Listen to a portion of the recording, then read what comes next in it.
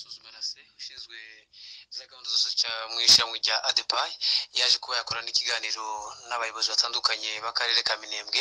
Reka tumubaze atubwire icyo baganiriye ndetse n'intego y'icyo kiganiro bakoze n'icyo bumva ko bagomba kugeraho mu karere ka minembwe mu kugateza imbere ni izihe ntego zari zigize icyo kiganiro? Watubwira icyo mwaganiriye.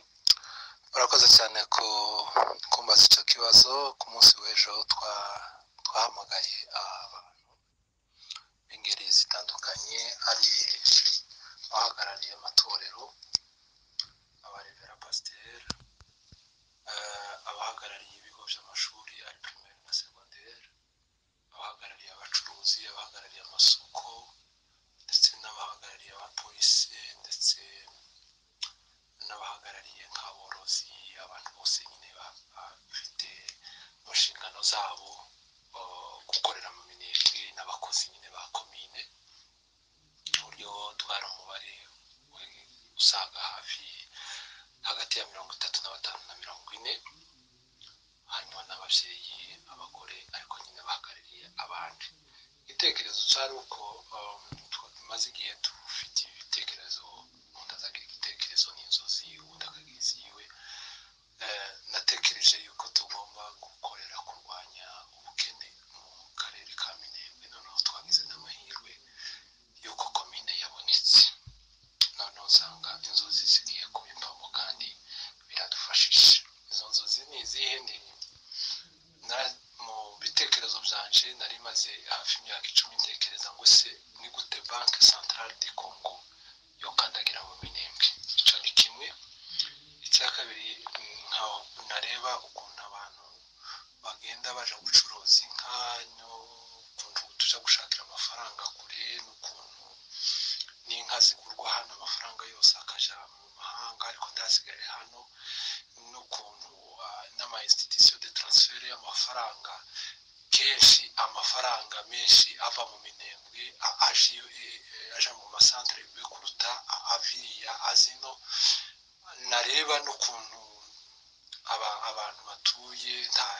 nta mafaranga nta likidite monetere numva icyo kibazo kingiyemo tekereza gukora partenariat na banki kugira ngo ise nsanga ni hahandi banki ni ukuvuga ngo niyo umuntu ukunze akayikorana nawe udakunze bene ibyo ngibyo. Umutima umbwira yuko icyo ushobora gutuma abantu bagira ikintu cya edikasiyo ku mafaranga ari uko twarema kopeke eh, ai cooperative d'epargne e dei crédit.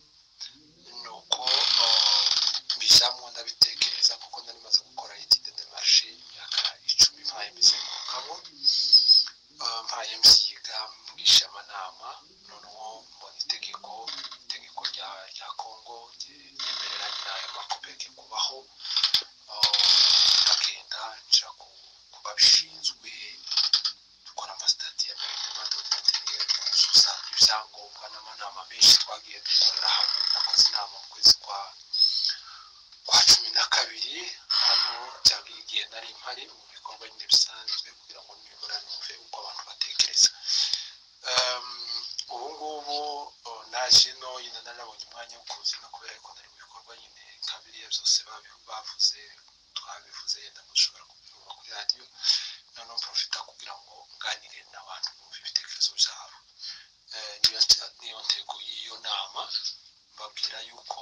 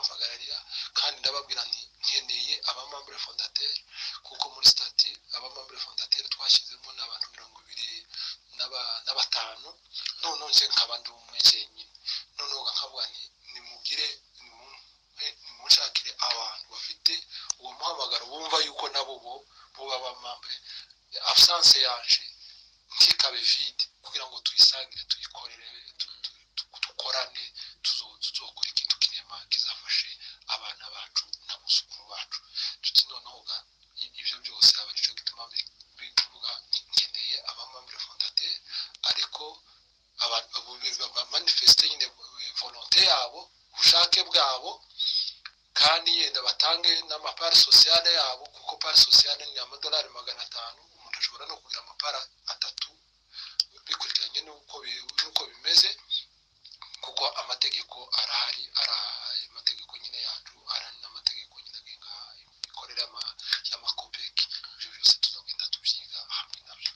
suzuma na se imirenge pe ko muragushimiye. Hagati y'aho ngaho watubwira ku icyo gitekerezo wakoze turagushimiye cyane kuko ugiye guteza abaturage ba minembwe imbere cyane kandi ko wicaye ugatekereza ukavuga ngo se niki gishobora kuba cyahindura imibereho y'abaturage ba minembwe. Ngiki kintu ntabwo kuko abantu dukeneye muri bamwe ni mwebwe kuko guhindura imibereho y'abaturage ba minembwe. Hagati y'aho ngaho nagira ngo kubaze ese ibyo bintu bigeze hehe? Ubu nyine bigeze kuri etape? Gute bimeze. Etape um, aho bigeze niko navuze ngo idosiye igeze muri muri banki centrale du congo kuko ni, ni niyo ishinzwe gutanga autorisation de fonctionnement. Ni ukuvuga ngo nta burenganzira umuntu afite bwo kubika amafaranga ya rubanda atabiherewe uburenganzira. Nubwo twakomeje gukora ibintu tutagendera ku mategeko ariko hariho n'inyungu twiyima kubera yuko tutari mu ma- mategeko. Nk'ubu ngubu kubera iyo- volonte nyine na manifeste ni- ninjiye muri banki centrale ya congo njya gusaba icyo kintu. Bisa naho ari nkanje wa mbere baza bandeba bagasa naho bi- bikanga. Ariko numva ari ikintu cyiza kumva ngezemwo mpaye nsaba ikintu na- nababwira baka- bakacyakira n'ubu ngubu bansabye yuko nozana abana babiri noneho bakaja bakaja muri stage kugira ngo icyo gihe autorisation izaboneka nimba ari mu kwezi kumwe nimba ari mu mezi abiri. Kuko izaboneka nta mpamvu boyitwima twujuje amakondisiyo nyine y'ibisabwa noneho nabo bakagenda mu, mu, mu, mu- muri stage kugira ngo ejo ni- nitangira bazobe bazi uko ayandi makopike akora. Hanyuma amaze kuzana kiriya gitekerezo hano minembwe abaturage mwaganire bacyakiriye gute? Abaturage bashakiriye neza cyane. Barishimye ariko mu bibazo baza babaza hari abandi bameze bazanye igitekerezo nk'icyo. Sin- sinemerewe kuvuga amazina y'abantu ariko barabazi. Noneho ba- bakora igitekerezo nk'icyo batanga amapari sosiyale ba- barakorana na banki ngo barangize amafaranga uko yashize mbese babadesi badese wewe u- utandukaniye hehe? Nabo. Njye nkababwira ibyo byose nari mbizi.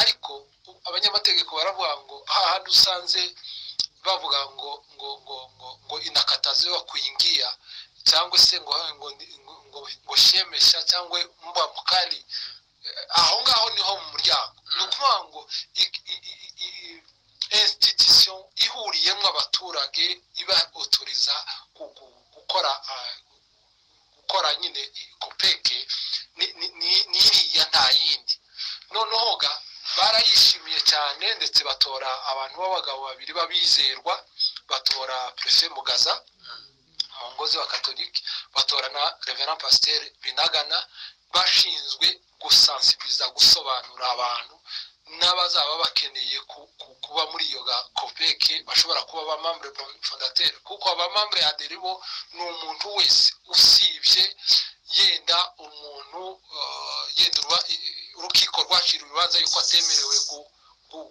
gufata icyemezo cyangwa se abana tukita ngo ni abaminere ariko ubundi muntu wese yemerewe gufungura ko konte akandi akabenefisiya amaserivisi ariko icyo naza nshaka kandi bishimiye cyane ni uko naje ngo dufatikanye twubake ibintu birama kandi n'abo ngabo babariye amafaranga bakagenda gutyo nanone batiremwo amasomo atuma twubaka ikintu noneho kirama.